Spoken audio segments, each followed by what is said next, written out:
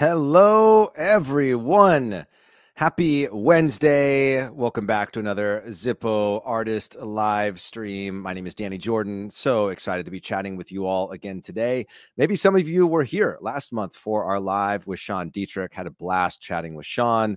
Uh, prior to that, we connected with our good friend Guy Harvey, got to see his incredible uh, new lighter that he designed for us. I'm sure many of you out there got yours. If you did, let us know in the comments. What's really cool about this artist live stream series is this is a great opportunity for you to learn more about the artists who are designing these very cool, unique designs that you all love so much and you love to collect and you love to have uh, in your home, in your office, wherever you are utilizing those designs. Um, but you guys are a part of the conversation as well. So I want to know have you picked up any of the past lighters that we have featured on the live series? Let us know in the comments. And I also love knowing where are you watching. What's so cool about uh, this world that we live in is that we are also connected and we have people from all around the world watching. So let us know what country, if you're here in the US, what state you are watching from.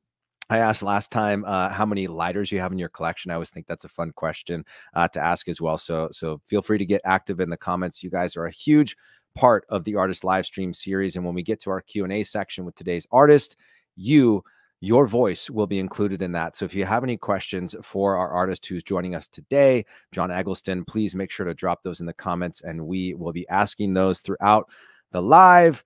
Um, I'm so excited to, to chat with John today. I just got to meet John the other day. You know, we had Sean Dietrich, we had Guy Harvey, who we mentioned earlier, but John is is on the inside. John is lead designer and illustrator at Zippo Manufacturing Company. Uh, he first joined Zippo back in 2011 as a contract artist, and it was only three months before he simultaneously fell in love with the work and was offered a permanent position in Zippo's design center. That was, my gosh, John, 12 years ago.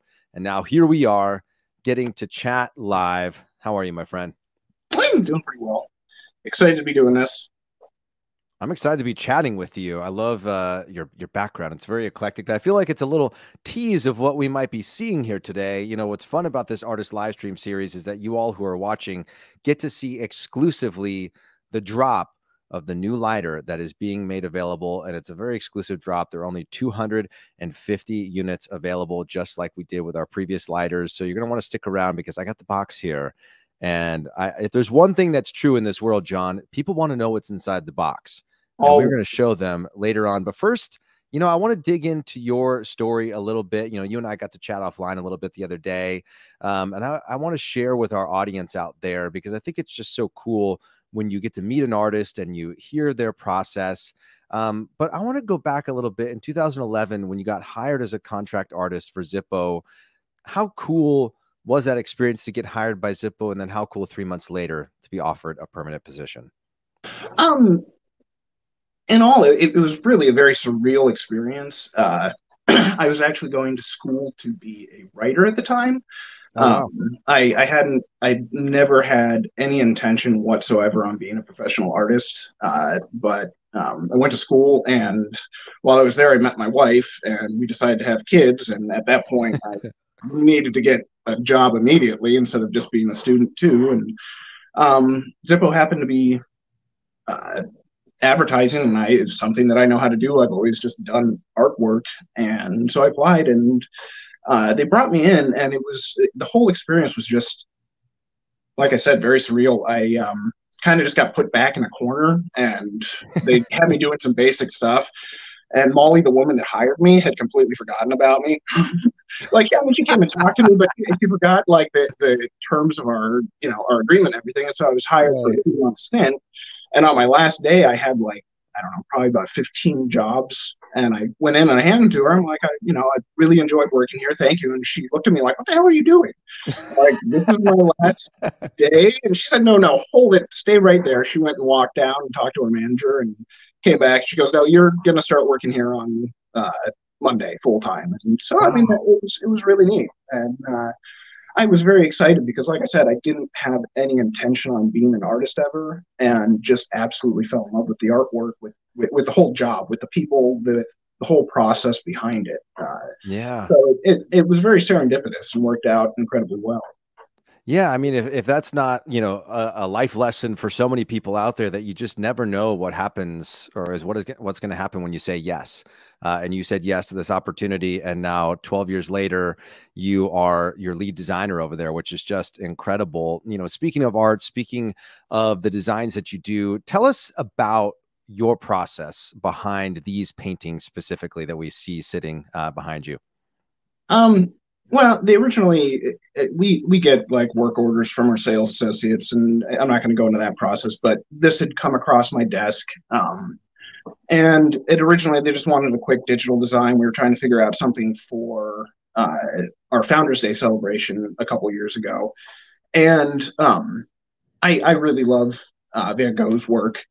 um, he I, I, have like a bit of a, a connection with him. Uh, he has a background or his he lived most of his life dealing with mental illness that's something mm. art is actually my tool and was my tool that's why i said it was never supposed to be a profession it was just my tool for managing my own uh, my own mental illness it was what right. i kind of figured out so there's there's that connection um, but uh, one of the big things I, am colorblind and so mm. i have a hard time differentiating a lot of different color tonal ranges. There's some colors I simply can't see. There's some colors that um, it, it's just it's very hard. And being a professional artist, it's a bit of a challenge to overcome. Right. And there's a lot of digital tools, a lot of really great tools like in Photoshop and Illustrator that help me differentiate colors on screen, but it doesn't. It's kind of like a, a just treating the symptom. It doesn't treat the cause or treat the problem. Mm. So doing artist studies like this, doing uh, where I study somebody else's artwork and do traditional paintings, uh, covering that really helps me to be able to differentiate a lot of the really minor subtle subtle tones between colors.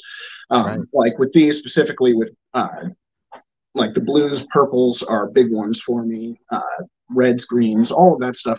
It, it all kind of blends together. And so when I do this stuff and when I go over and over again, with it, it it helps me better be able to use and tell what the different colors are.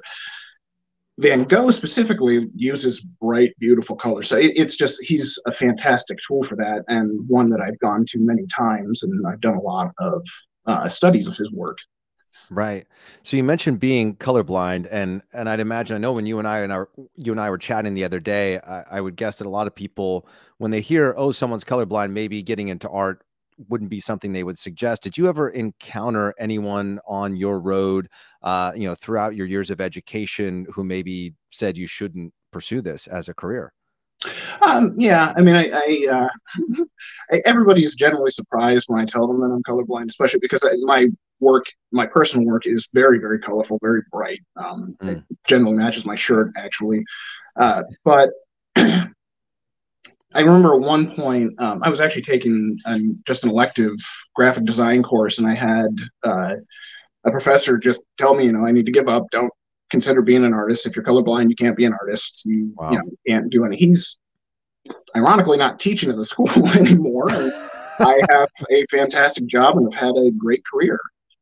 Yeah, no, I, think it's incredible. You know, I, I, talk a lot about this that I think oftentimes our differences are what give us um, our superpowers in life. And I just love that, you know, somebody said something to you, but you didn't let that derail you. You had this passion uh, of yours in life, but also something that was very um, probably provide a lot of healing for you as well as you talk about you know mental yeah. health issues um, having this this outlet um, to to process um, i think it's amazing so you know speaking of school you know, where did where did you go to art school um i didn't actually go to art school i took some ah. graduate courses uh, several years after i had become a professional okay um, but on the whole i you know i i started doing art when i was well, I, I, don't I don't remember a time when I didn't do artwork. Uh, mm. and so by the time I was like 11, 12 years old, I always had a drawing pad. I always had pencils. I always had pens. I always had something. I was always sketching. I was always um, drawing, sculpting, whatever I could get my hands on.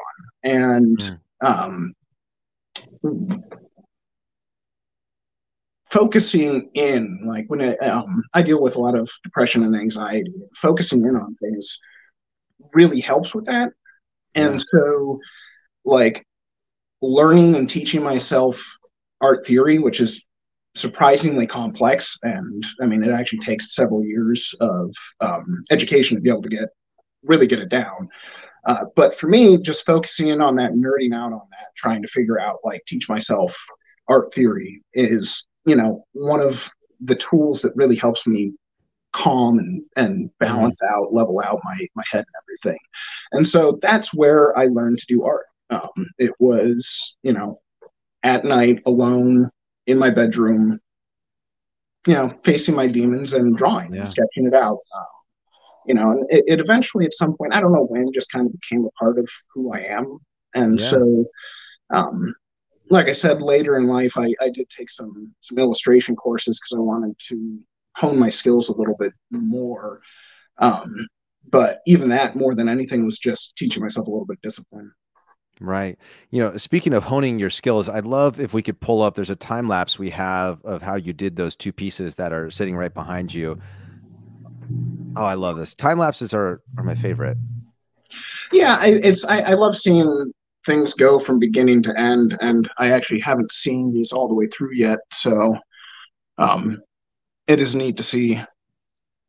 Yeah, that's really really cool. I mean, I just I love the idea that when you step up to a canvas, it's empty, and then when you're done, you've created this thing. You've brought this thing that didn't exist to life. Well, one one of the things that I love is that you know I did several sketches of it first, um, first several digital sketches, and then um, several acrylic sketches before doing the final paintings. And um, there's a change overall. And I, obviously, I can't show that because you don't, you guys don't see all of the um, all of the stages from the very beginning. But uh, by by the time I get to the end of it, I actually am putting on paper what's in my head or putting on canvas what's in my head. And to be able to do that is something that just, you know, it, it's hard to really explain how good it feels. Just you get done, you're like, holy crap, that was what I wanted to do. I did that on purpose. That's incredible. Do you ever, as an artist, get into a work like that that maybe you sketch out to be a specific way, but as you start working with the paint, does it does the vision start changing for you throughout the process? Yeah. So, well, actually, um, that does speak to a lot of how I learn now. A lot of artists, and I should follow this practice, but will do uh, sketching prior to. With hmm. these. I had the convenience of having basically unlimited time to do them, um, so I was able to do that. But for the most part, um, like my my uh, load is like all of ours, very high. I think I did something like seven or eight hundred individual pieces of art last year, not including wow. concept work that that doesn't get recorded in that that manner. So I don't usually have time, and so for the most part, like doing illustration work, what I've learned to do is sketch while I go along. I have a big idea in my head. Um, I get that down on paper, or well, actually, usually on screen. I work on primarily digital, but um, I get that down, and then by the time I'm done with it, it's what I had in my head, but it's totally different than what I had originally started doing. If that wow. makes some sense. Yeah, it's sort of like jazz music. You know, Very like, much. You, yes. you know where you sort of want to go, yeah. and you know you want it to sound really cool, but how you're going to get there and what notes you're going to play along the way, you sort of just figure yeah. out. It's that that's honestly a really great analogy, and it's a really great analogy for how we work at Zippo mm. because we have such an unbelievably high turnaround time. I mean, um, other jobs I've seen, people have you know two three weeks to work on a single piece of art, whereas I have maybe three hours at most, and you know so it, it very much is a uh, stream of consciousness on flow kind of thing. Amazing. I'm seeing a lot of questions that are coming in uh, from everyone who's watching from around the world. I think we've got Spain here. I saw pop up. We've got a bunch of people here in the states, like Minnesota, Ohio, Georgia. Um, I see a lot of questions popping up. You know about the you know the question around are these going to be signed by John? And there will be a certificate of authenticity that is uh, going to be signed by John, and there will be 250 units that will be available exclusively on Zippo.com as soon as we wrap up the live here. So um, this feels like I feel like we're almost at the point to reveal. I, I want to make the people wait just a little bit longer longer. That's what makes shows like you know Storage Wars work so well. Is it's like you know the garage door closes and then they go to commercial and you got to come back afterwards so we'll get to that um, in a moment um, but but i'm curious uh, if you weren't making your living as an artist what do you think you'd be doing um well i mean I, I my wife once said that i am very easily fascinated and i, I think that's a pretty accurate statement I, I maybe a kind way of saying i'm easily distracted but um, she she also accurately pointed out one time. I, have thought about this question many many times, and it's always a different answer that I come up with. But she pointed out that I, I think I would honestly be happiest being a professional student. Um, mm. I, I, love learning. I, I love challenging professors. I, love, I, I, mean, I, I, I just, I, I, I love growing and, and gaining um, experience and gaining knowledge. Right. Uh, and so, I mean, I, I, think if anything, that would probably be it. Um, that or independently wealthy, or both. I mean, why not have it all? You know, you know. I mean, but if I'm going through things, as they say, right? Yeah. um. So you said earlier that you do you've done over 700 designs in, in in a year. Is that what you said? You usually do over 700 designs in a year. That's incredible yeah. to be able to tap into that much creativity. That's well, I, I, mean, I, I, we do a, a, very wide range of work, and so um, a lot of it is just simply adapting a client's logo for our lighter surface or for one of our other product surfaces. Right. Um, but I mean, still, yeah, it's it's a very taxing job in in terms of creativity. It's uh, it, it really pushes the bounds. I think uh, right. It, it, takes a certain kind of mindset. Um, I love that I get to bounce all over the place. Everything I'm doing. Um, the last couple days I've spent doing a digital painting, um, but throughout there I've also had to do probably about ten other designs of varying, you know, just styles, uh, types of decoration. Um, and we have to be able to know all of that stuff and be able to adapt right. very easily. It's incredible. Um, well, I think we've made the people wait long enough. This feels like a good time to reveal the design on the lighter, and I know that we have a really cool uh, time lapse. So I'm going to open up the box here, and we're gonna we're gonna go full screen to get a look at your design. Let's pull this out of the box. This is the first time people are seeing it, and maybe some people put the pieces together. That that art you are seeing behind John uh, here right now is uh, the design that you're going to get on this brand new exclusive drop lighter 250 units that will be made available at zippo.com uh, with a signed certificate of authenticity uh, from john himself. We've got the sort of starry night inspired design there. Um, and and what's really cool I, I, think we need to point this out and, and, you know if our production team can go full screen with the uh, the video uh, here in a moment i think it's really cool. John can you tell the people what these buildings are that are on the front and the back of the lighter uh, yeah, so on the front is our uh, museum, our Zippo Case Visitor Center, um, and then on the back is the our factory. Actually, um, that they're both kind of in the same lot everywhere there, so it's supposed to be a night and day of that area.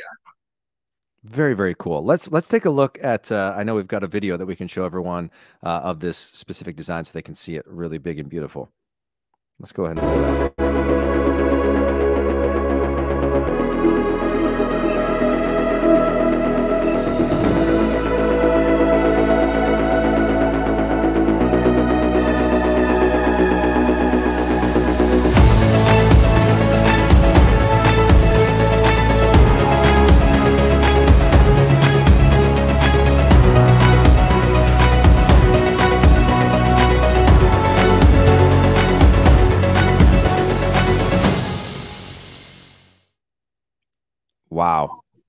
Wow.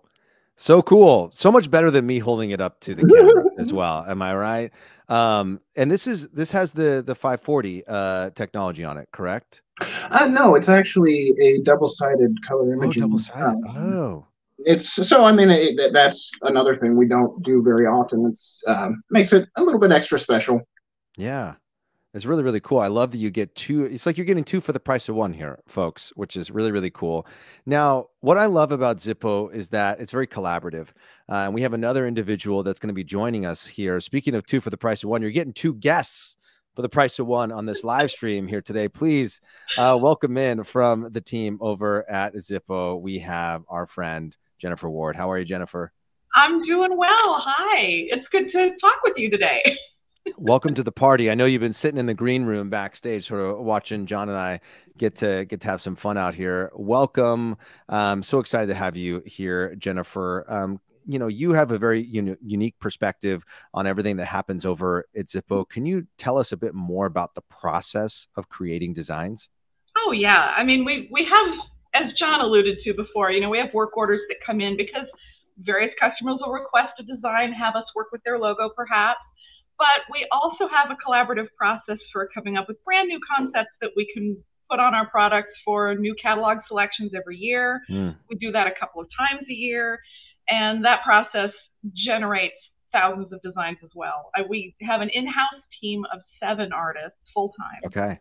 And a lot of them are specialists in things that they really enjoy doing. But as John said too, we have to be generalists and be able to understand the different processes. There's different ways we can decorate the lighter, everything from full color like you see to, you know, there's carved lighters that really, you know, engrave deeply into the metal and really give you a great feel. And so, you know, in an in a annual cycle, we can produce, you know, more than 8,000 designs wow. with just the same seven people. And yes, that's a range of simple logos all the way up to yeah. fully creative original stuff. It's, it's a wonderful variety. That's incredible that a team of seven is putting out over 8,000 designs. You know, quick math, that's over on average over a thousand designs per person, which yeah. is amazing. So let's give it up, honestly, for the design team at Zippo and all of the incredible work that, that you guys are doing. I'm sure our audience are huge fans of all that you that you do. And, and speaking of um, designs, do you have a favorite? I'll, open this up to, to Jennifer and John. Do you do you each have sort of a favorite uh, Zippo design? Uh, I have my Book of the Dead design. That oh yeah, I think yeah, might have Oh my gosh! Look at this thing. Are you kidding me? That thing's awesome. Honestly, not just like lighter cool. This is like one of the coolest things I have ever seen. And and full disclosure, this was shared with me the other day, and honestly, I'm still enamored. Like it's and, and let's talk to the people. Like this isn't just some sort of printed element. Like this is actually etched. What is it? Laser engraved into the the lighter. Uh, we have a, a deep engraving process that yeah. we use. Okay, it's proprietary. is is really what we're going for there. deep engraving process is John sitting there one by one, just etching it in. I actually did do that many years ago for a social media project that never went anywhere, but okay. I had hand engraved a couple lighters. Really? Yeah, I mean, if you look at this, it's just it's absolutely gorgeous. You can see if I can put it in front of the camera. Yeah. um, just my God, I'm terrible at this. How how much it, it, it gets in there and it's. Just, it's it's one of the most stunning lighters I think I've done, and I love the subject matter. So, yeah. Speaking of the subject matter, what what are we seeing there? Because when I saw this the other day, I said, "Is that an octopus?" and you had to drop some knowledge bombs on me. So, so I knew yeah, it's, um, it's all based off of the universe created by H.P. Lovecraft. Um, many years ago, he created this weird horror world that had all these like alien gods that um yeah whatever. A- anyways uh cthulhu was one of them and has kind of become the most famous. And all of these other like artists and writers and musicians and tabletop gaming enthusiasts have created this extensive massive like global cultural universe based around these handful of characters, and so this is my contribution to it, and um, it incorporates a whole bunch of stuff. There's some actual uh, sigils from demonology. There are some Egyptian and uh, Mesopotamian symbols and stuff in there, and then wow. a little octopus guy on the bottom, right there. That is so cool. Now, is that is that your best selling design that you've ever done? Your best selling lighter? Do you know? I have no idea. I, I, I, think that's what I was. I know it's like one of the top sellers right now on Zippo.com. It's frequently out of stock. Yes. but it's in stock right now. Yes. And, yes. you know, talk about burying the lead. What's really cool is that all of John's collection currently on Zippo.com is is up for free shipping right now through May 22nd. So if you see that design, uh, the design that we're we've revealed here today, and you're like, "Gosh, I love John's work. I need to get a few of these for my collection." Uh, until May 22nd, Zippo is offering free shipping through Zippo.com. So go get yourself a few designs. Heck, buy five of that one that John just revealed and, and give them out like as presents. Like I, I, said the other day, I said, I feel like that's like something Indiana Jones would be like chasing down in some like temple or cave somewhere. It, it's just, it's so transcendent. It's really, really, really cool. Um, so, you know, we've talked a lot about, you know, seven, 8,000 designs a year. How many designs have you each created in your career at Zippo? Do you know? Career. Oh, that's a good one. Um, I think the last time I went and looked up how many I've designed, because I started as an entry level artist, I was hired just a few months before John was, and then they found him wandering the building, you know, and we put him into the team. Um, True, I didn't wander. No, you didn't wander. You stayed in your I corner. sat quietly in the corner. yeah, I mean, every now and then someone would throw you a donut. Everything was fine, you know. Mm. Um, but I, I, I've been with the company, you know, over 12 years, almost 13, and I think I've I want to say that I've probably created just over 5,000 designs over that time.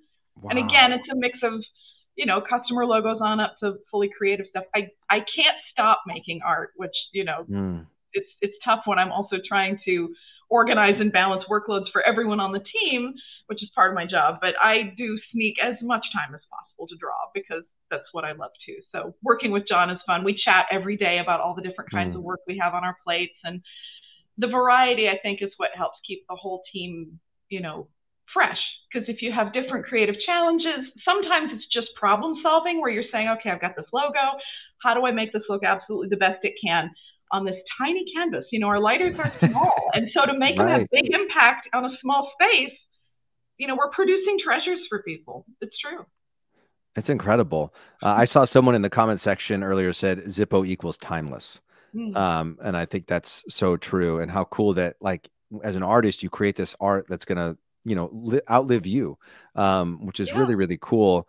Uh, what's your favorite part? I want to know each of you. What's your favorite part about working at Zippo, Jennifer? Oh, well, for me, I think it is the challenge. It's, it's constant problem solving. And uh, to kind of borrow from something John said earlier, I, I also love ongoing learning. I geek out on pop culture. I love it when a customer comes in with a challenge and we're trying to formulate something really cool for their market, something that they know is going to be a bestseller for them. And then I'm thinking, okay, what do I know? What's my experience? What colors are going to be cool? Or what engraving is going to look awesome? And so, you know, we work on such a variety. I think it's that ongoing learning and being able to geek out as much as I like, and somehow it it serves my work. You know, I love the yeah. fact that fun can serve work. So, agreed. It, it, it goes together well. So, love it. What about you, John? Yeah, I don't know. I mean, that's. Don't worry, all your bosses are watching. No, there, right no, there, no there, there, are a lot of there's a lot of, of aspects of it that I've I've, I've had some really fantastic opportunities at Zippo. I've managed to work with like rock stars, meet little rock stars. Um, I was briefly famous in Germany. Um, Whoa! For, yeah, yeah. We, I, I featured. That needs to go on your resume. Special no, I, skills. I was, I, well, I wasn't like Hasselhoff famous, but uh, you know, I like I was I was featured in GQ on, in in Germany because of Zippo, and like I've had all these really weird, just fantastic opportunities that I never would have gotten anywhere else. Um, but I also something that you you had just said that I love the idea that while I'm not a known artist, I, you know, anybody who hasn't watched this specifically, my screen just went off. Um, anybody who hasn't watched this isn't going to know my name. But I have sold thousands and thousands and thousands and thousands of pieces of art. There are right. thousands of people have made the decision to buy my art, and not a lot of even very well-known artists can say that. Right. That's the how truth. cool. I still yeah. get completely jazzed when I see one of my pieces out in the wild. I've bought them at convenience stores. I mean, you know, I could probably get it in house somewhere, but I can't help it. If I see it somewhere, I just oh, think, oh my gosh, they made that. yeah it's so incredible as an artist to sit there you know you oftentimes you know can't see the forest through the trees sort of you know situation where like you're saying that anywhere in the world right now somebody could be walking into a gas station a convenience store whatever and there's a there's a, a display there of zippo lighters and they see some design that you created and your what your mind created connected with them in some way and they make that decision to make that purchase and then that lighter goes on camping trips or, or wherever it sort of goes in their life um, becomes a part of them.